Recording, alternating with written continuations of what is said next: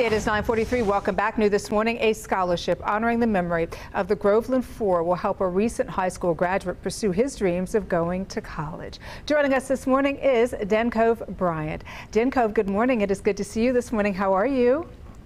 Good morning. I am well, Danielle. How are you? I'm doing good, thank you. How do you feel that you won the scholarship? It is such a tremendous opportunity to not only win this scholarship, but also to be the first recipient in Lake County and the state of Florida to win the scholarship.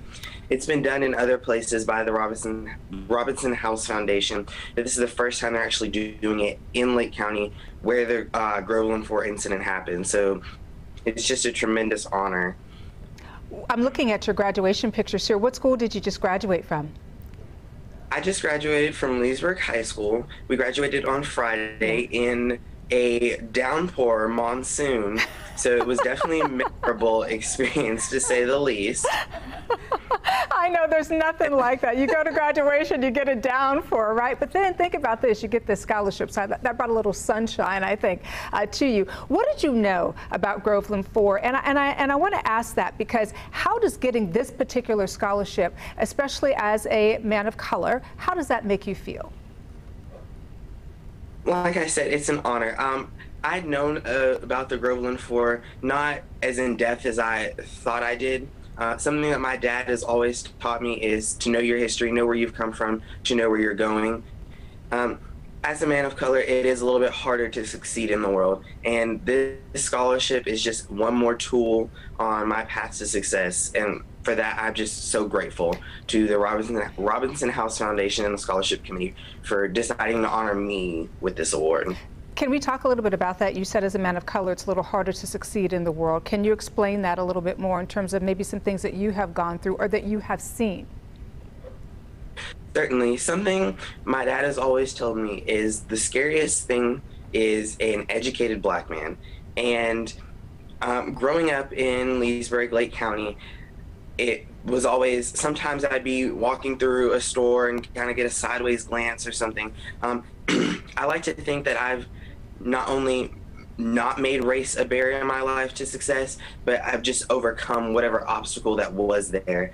Um, I just finished serving as the student body president of Leesburg and also as the student advisor to the Lake County School Board and to the superintendent. So my path to, path to success was not um, as hard as those that came before me.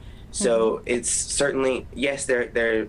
I've had my own share of challenges and trials, but those that have come before me have made it so much easier for me and others like me to succeed. Where are you going to college? University of South Florida. Go Bulls. Go Bulls. USF. Good for you. And what do you plan to do once you graduate college?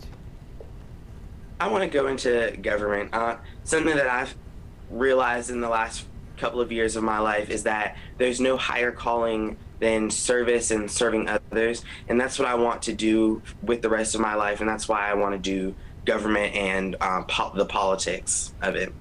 And very quickly, what advice would you give to other young men who may be wanting to pursue scholarships or maybe wanting to pursue the kind of uh, career that you want to after college? What advice would you give them if they're experiencing some difficulties right now? Well, for the scholarships, apply, apply, apply. You can't, you miss 100% of the shots that you don't take. Mm. So putting your name in uh, and on their on the scholarships committee's radar is certainly the number one thing, and do it.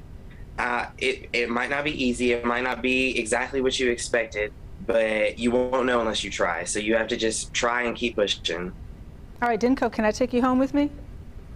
to give some advice. Yes, ma'am. All right, let's go. You are the best. Inco, congratulations. I know you're going to do wonderful things in this world. And thank you so much for joining us this morning. Thank you for having me. Absolutely. Good luck to you. Amy.